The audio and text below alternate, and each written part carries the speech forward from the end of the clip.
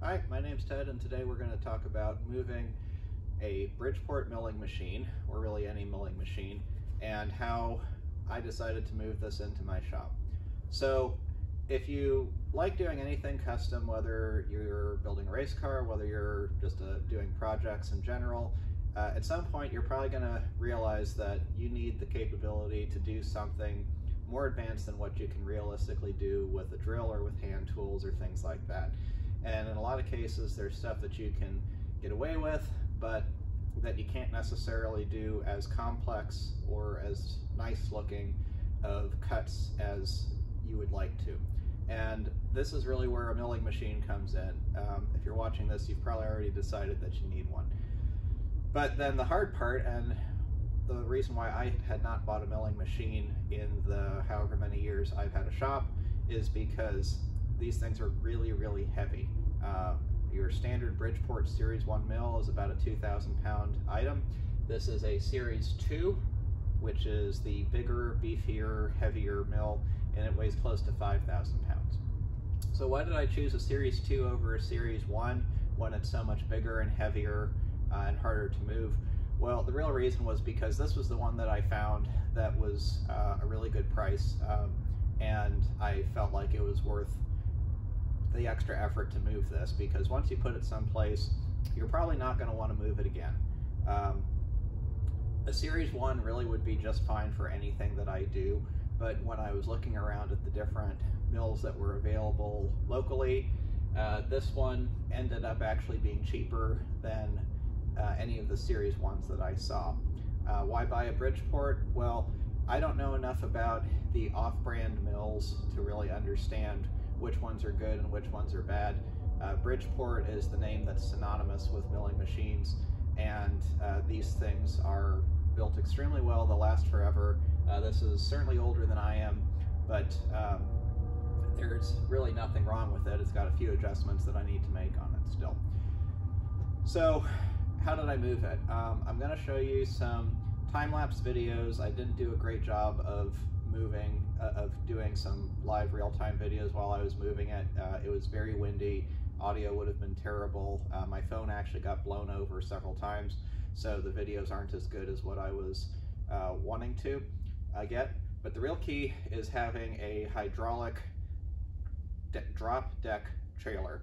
And you'll see in the video why this was so useful because um, with a forklift or something, you can easily enough load uh, one of these onto or off of a larger trailer, but unless you have a forklift at both locations, um, which I don't, and the shop that I bought it from didn't either, that really wasn't going to be a very good option. With the hydraulic drop deck trailer, the deck goes all the way down to the floor, and so that makes it easier to just literally winch the uh, winch the mill onto the trailer and then back off. So a couple of tips.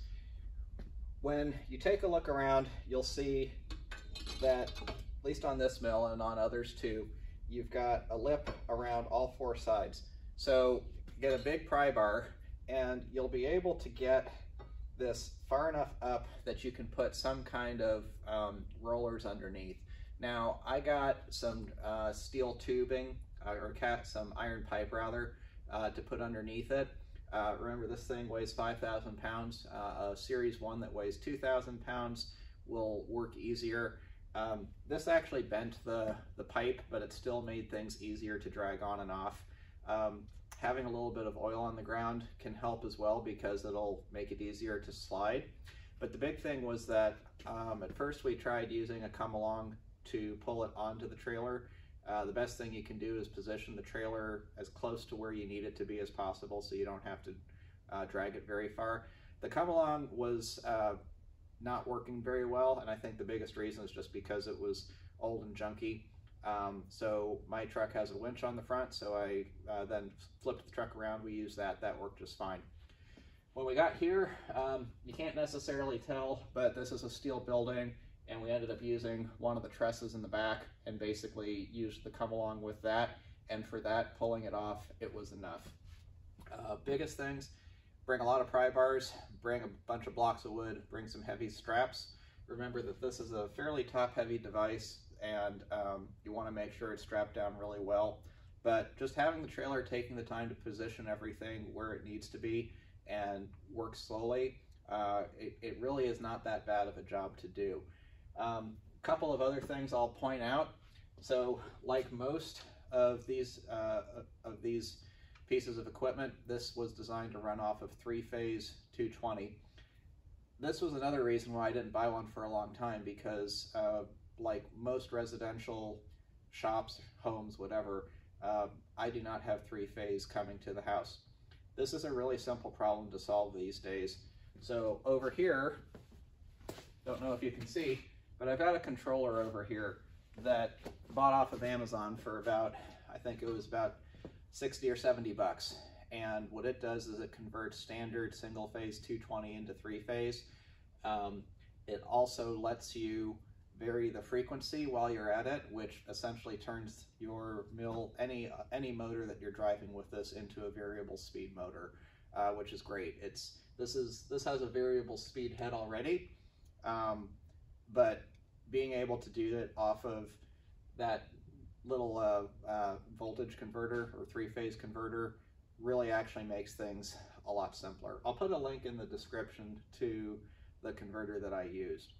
Um, I'm not going to go into a description of how the mill works. Uh, for one, I am by no means an expert, um, and uh, this is really more to talk about how I moved the mill in. If you have any questions, um, can put them in the comments, but after uh, I, I have under $2,000 into this between buying the mill, renting the trailer, and then uh, I just decided to start off buying some cheaper collets and uh, end mills and other things off of Amazon because I figure uh, I'm I'm new to machining. I'm sure that I'm going to break stuff, uh, so I may as well start with some cheaper things and uh, learn off of those.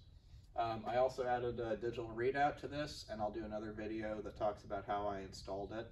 Uh, but hope you found this useful. If there's any specific questions you have, put them in the comments and I'll do my best to answer.